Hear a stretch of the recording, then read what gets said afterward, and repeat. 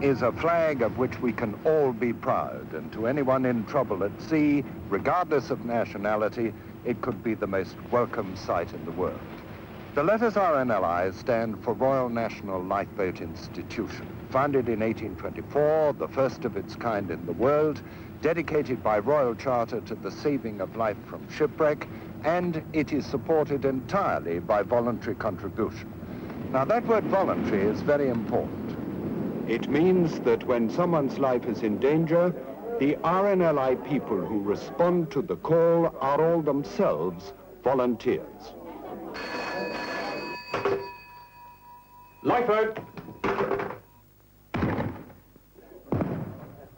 By their own choice, they are prepared to leave at any time, day or night, whatever they may be doing, and put to sea.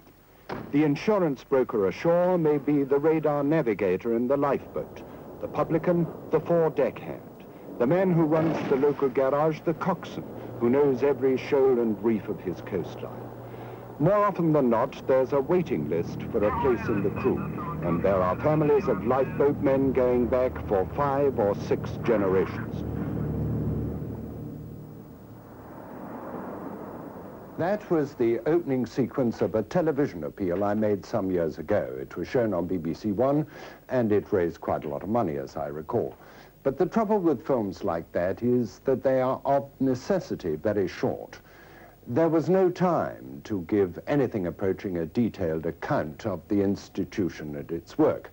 We saw lifeboatmen in action, it is true, but no chance to ask them why it is they do what they do. What is it that induces a man to put to sea, often in the most appalling conditions, because someone else is in trouble? Willie Jones, coxswain of the Holyhead lifeboat. How long have you been doing it? Well, I've been a lifeboatman for 26 years and uh, coxswain for about 18 years. Haven't you had enough yet? Not really, because uh, I think uh, I get great satisfaction of this kind of life. Uh, many persons like different types of challenge, but this has been my challenge. Brian Thompson, why do you do it? Hmm, now that's a question you get asked a lot, and I don't really know the answer. I sometimes wonder on a stormy night in the winter, but I think if I was out there, I'd like to feel that somebody would come and get me. Dave Barry, it is dangerous though, isn't it? When I took the second mechanic's job, I had to take my family's point of view. Uh, so I, uh, we had a discussion about it and uh, I told her that uh, that was my passion to go to sea and to lifeboat and it'd been a dangerous. And she fully understand my motive and she full agreement. Are, are you a family man, Brian? I am. I have two young children, yes. What does your wife feel about it? Um, she puts up with it. I think they have to be admired, the wives, because they have a lot to put up with. We know what's going on, but they're completely in the dark when we go out. Have you ever regretted it? Not for one minute, no. We are working with the finest equipment in the world, in my opinion anyway, and, uh, and the finest boats. And uh, it's not often that you get a chance to do that. And uh, over the years, I've had great satisfaction for what I've been doing. That tradition of service goes back a long time, more than 160 years, in fact, to the days of oars and sail when horses were used to launch and recover over the beach. The steam era produced beautiful craft, many of which were technically very advanced. Epic deeds were performed all around the coast. Some inspired major artists of the day.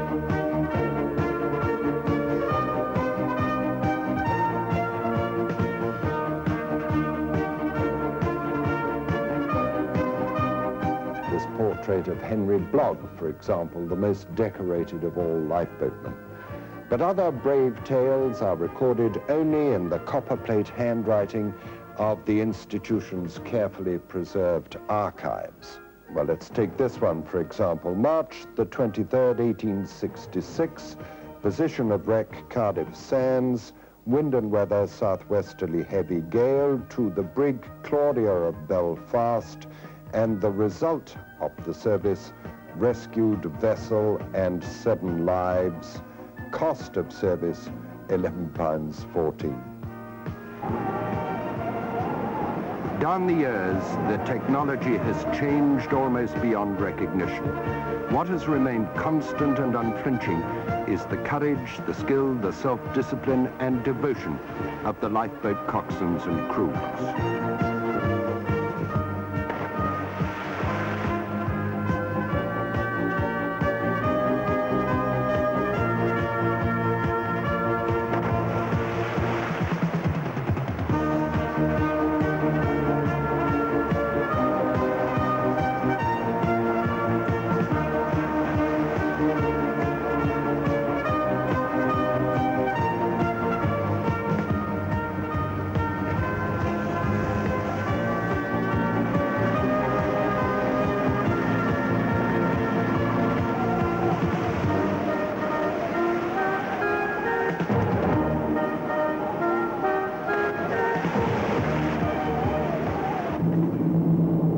Lifeboat of today is a far cry from its predecessor even of as little as 10 years ago.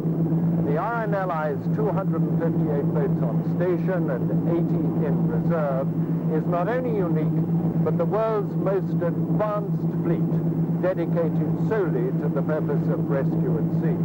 Take this time, for example.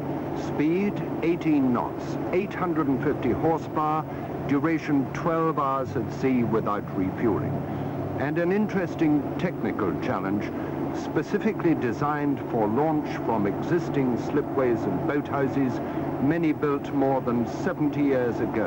And another interesting point, it is the 40th lifeboat to be paid for by the Civil Service Fund.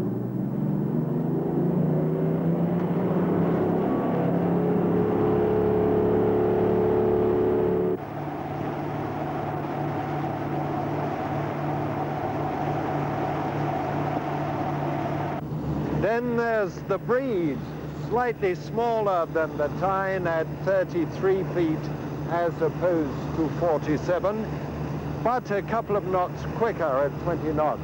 She can only lie afloat and was in fact developed from a commercial design. Crew of four as opposed to seven. There are in fact 12 Bredes in the fleet and the building program is now completed.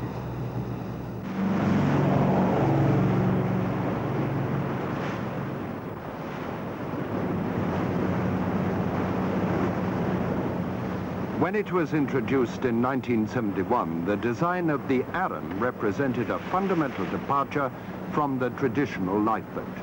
Inherently capable of self-righting from a capsize, as are all her sisters of the present generation, her high superstructure provides unprecedented operational advantages.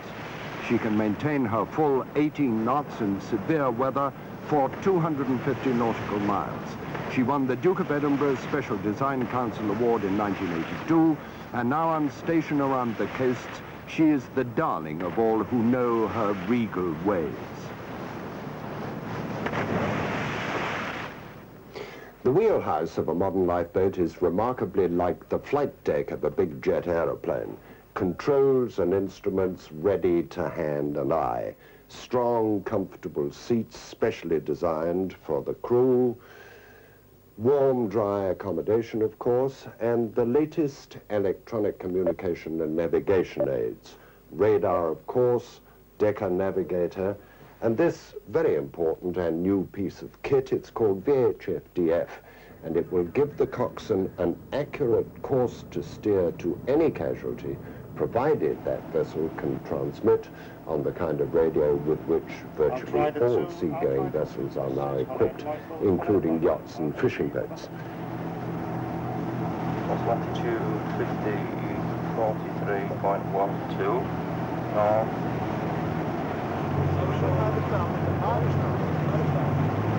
Outrider 2, Outrider 2, this is Holyhead Lifeboat, Holyhead Lifeboat.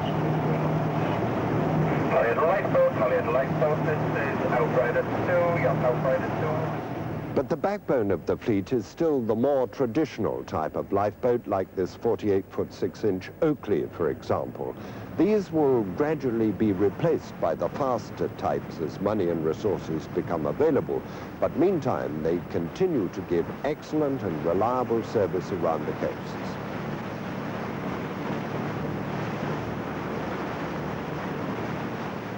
The RNLI pioneered the use of inflatables and semi-rigid hulls, as they are called, primarily for short-distance, high-speed response, and this is the first of the family, the D-class, with a powerful 40-horsepower outboard engine and tough and resilient double-skin neoprene hull. This is an extremely effective craft, despite and indeed because of its small overall dimensions. The institution's depot at Cowes is dedicated to the specialized technology of an inflatable lifeboat, demanding new craft skills, and the nimble fingers of ladies are more relevant than the horny hand of the traditional boat builder. The largest of this type is the Medina. Now completing a long and arduous program of development, she'll be the first of the RNLI's boats to use water jet propulsion. And if the Arun marked the start of a new generation, so most certainly does the Medina. And in the pursuit of excellence, there have been many refinements to the original design.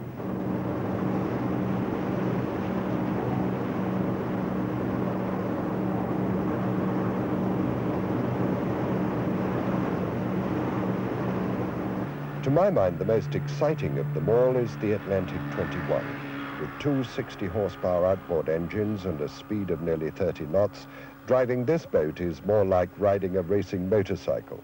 The coxswain even sits astride the steering console and puts his feet in stirrups to keep him aboard when she gets airborne. And finally, the smaller Y boat, carried by Aruns and other of the bigger modern boats to be launched at sea from the bigger boat when particular circumstances arise.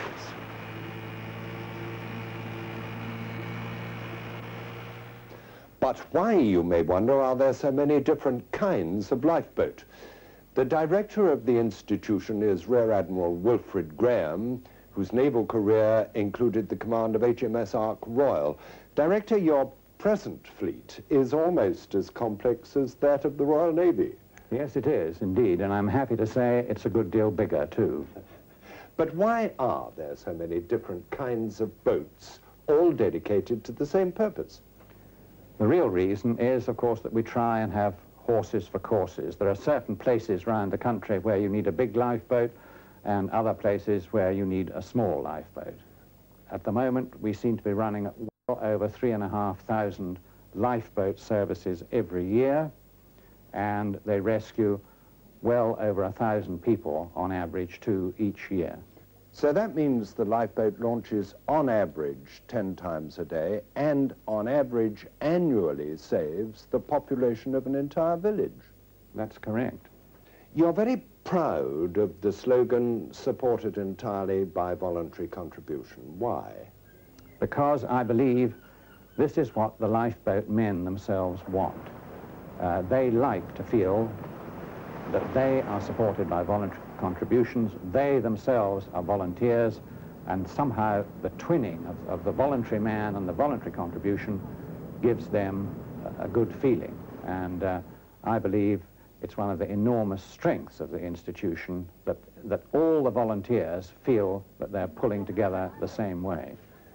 That's one of the wonderful things about the RNLI is it does command enormous respect and popularity and support from the length and breadth of the British Isles, including Ireland, of course.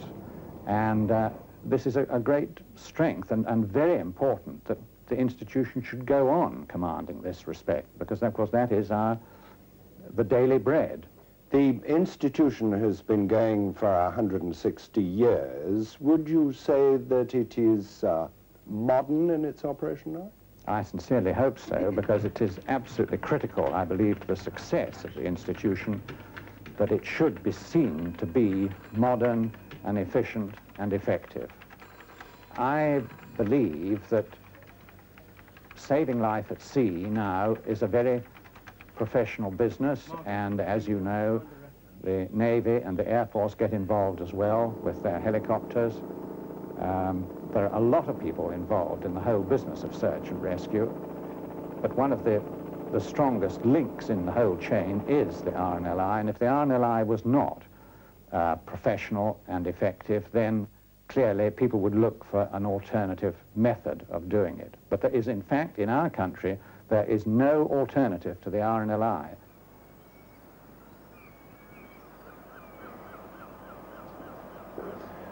To anyone with any feeling for ships and the sea, this modern stores and equipment block at Poole is like an Aladdin's cave. It even smells right. But more than that, it illustrates the director's comments about the pursuit of excellence. No matter where you find her, you'll never see an RNLI lifeboat looking down at heel. There are two reasons for that. The care and pride lavished upon her by her own people, and also the backup provided by this superb chandlery and workshops which can provide her every need, and if necessary, in very short order. The RNLI does not build its own lifeboats. That work is entrusted on competitive tender to some of the finest boat building yards in the land. But specialized engineering for maintenance and modification is undertaken here in the well-equipped workshops at Poole. There is also at Poole a modern drawing office for the design, modification and development of current and future lifeboat types, where the experience gained from experimental trials and operational service is, again, dedicated to the continued pursuit of excellence. If I were to say to you, how are you doing, what would you reply? I think the RNLI is doing well. I don't want to be complacent because clearly anyone can always do a bit better. But the whole business of maintaining lifeboats, I always think, is, is very complicated and, and important because a lifeboat spends a great deal of its time actually doing nothing. On the other hand, when it is required, everything has got to work first touch of the button. So the maintenance and upkeep is absolutely critical, which is why we spend so much money on it. The fact is that the RNLI doesn't cost the taxpayer a penny piece. That's correct. All dedicated to the lifeboat man, as you said. But what about the lifeboat woman? Well, the lifeboat woman is important. Uh, one of our big lifeboats has a girl in the crew, and quite a large number of the little boats have girls in the crews. So there's absolutely nothing standing in the way of lifeboat women. Do you think it's going to be a coming thing? I'm sure it will be. Actual rescues at sea are seldom seen except by those immediately involved. The job is too important, the response too immediate, and the environment too rugged normally to admit the prying eye of the camera. But very occasionally, and often quite by chance, such pictures have been secured, which show lifeboats and lifeboatmen at their task. Here, thanks to the people who took those pictures, are some such moments.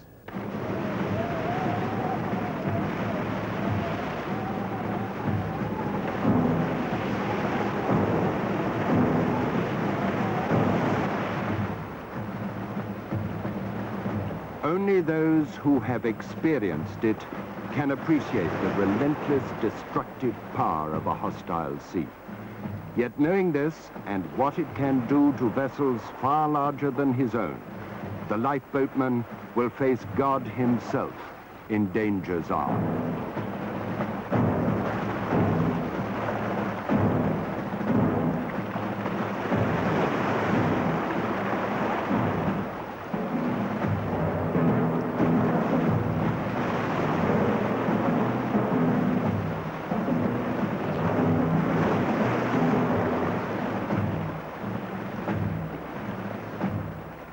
Rescue by breeches buoy is one of the traditional skills of the Coast Guard.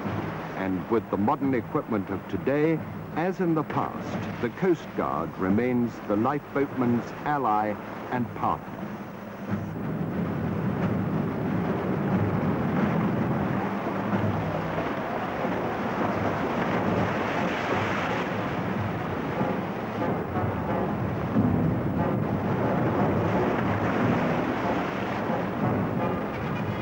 Mercifully, some may say miraculously, lifeboat disasters are rare. But this is the Solomon Browne, the Penlee lifeboat, lost with her crew in an act of selfless heroism that stirred the nation.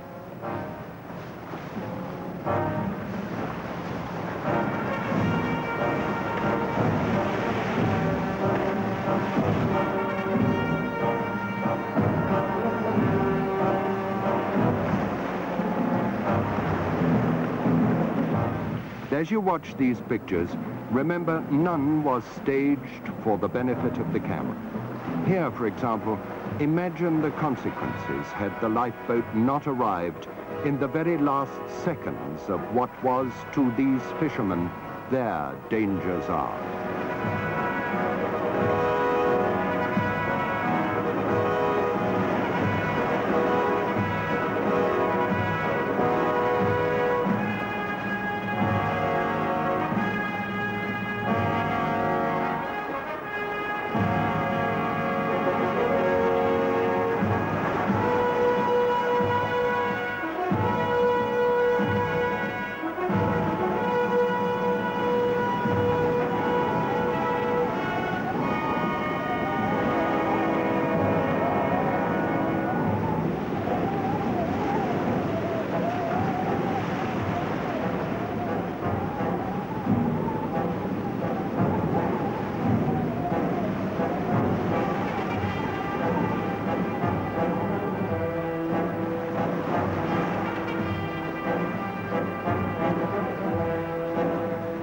Their services in saving the crew of the oil rig Orion, driven ashore in appalling weather off the Channel Isles, eight of the institution's coveted awards for gallantry were won by men of the St. Peter Port Relief Lifeboat, who returned again and again to the wreck, first in darkness and here later at first light.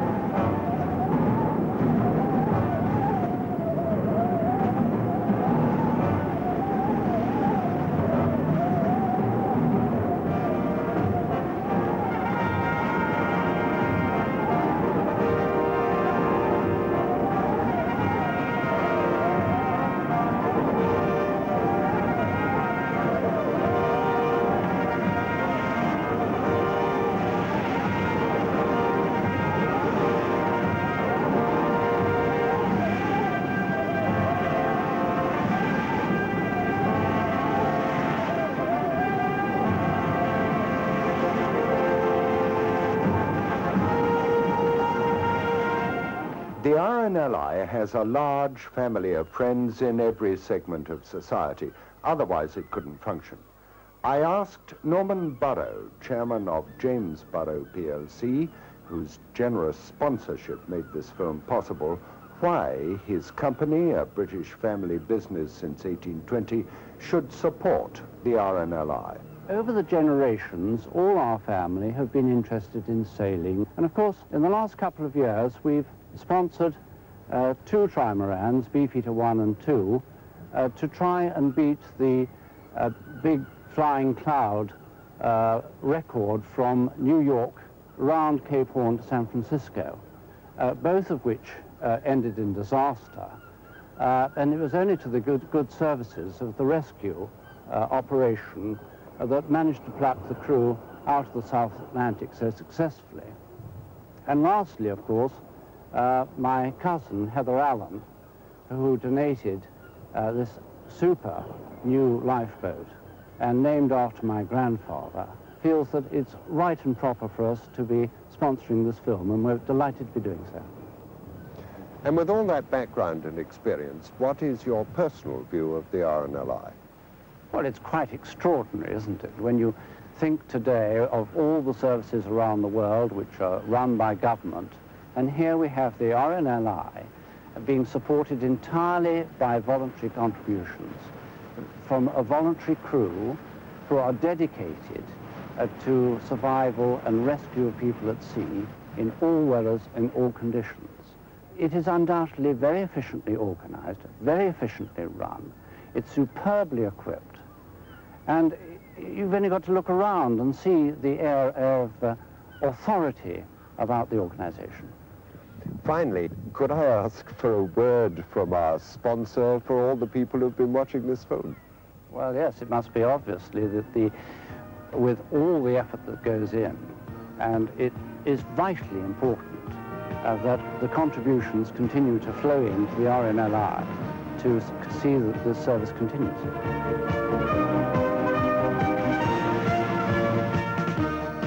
Next time you see a lifeboat at sea, snug in her boathouse or lying peacefully to her mooring, remember what you have seen in this film and be proud to be or to become a member of the great family of service, which is the RNLI.